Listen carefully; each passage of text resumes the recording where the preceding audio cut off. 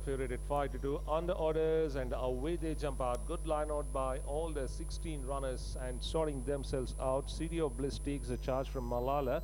On the outside is Maximum Glamour. Blissful on the improve crossing the 1000. They followed then by Carlisle held in fifth. Beauty Blaze comes in next, joined by on the outside by NRI Superpower, followed by Briar Ridge, Warrior Invictus. They followed then by La Mirage. Another length and a half behind is Miss Little Angel, followed by Above the Law. Racing next is City of Blazing. Stunning Force comes in next. Another length behind is General Atlantic on the outside.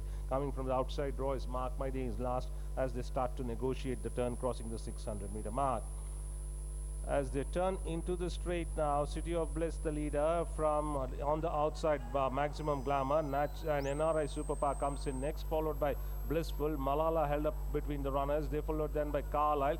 On the very wide outside is Briar Ridge, followed by Beauty Blaze ridden hard. With uh, inside the last 250 now, behind on the outside, Briar Ridge storming into the overhauling the leaders. That's Maximum Glamour. Beauty Blaze comes with a very powerful run. Beauty Blaze, Briar Ridge, stride for stride they go. Briar Ridge, Beauty Blaze, Beauty Blaze, Briar Ridge, Briar Ridge gets on to win it. So Briar Ridge gets it, beating off uh, Beauty Blaze.